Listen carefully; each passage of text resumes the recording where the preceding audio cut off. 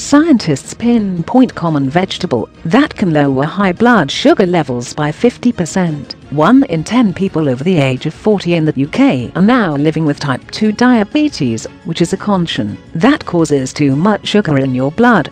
However, there is one common vegetable that can lower blood sugar levels by 50% and could see potential use in treating patients with diabetes.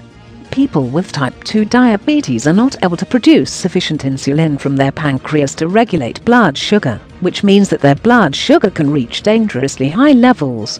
However, findings from 2015 presented at the Endocrine Society's 97th annual meeting in San Diego, revealed that the extract of an onion bulb can strongly lower high blood sugar and total cholesterol levels when given alongside anti-diabetic drug metformin. Lead study author Anthony Ojieh of Delta State University in Abraka, Nigeria, said at the time, Onion is cheap and available and has been used as a nutritional supplement.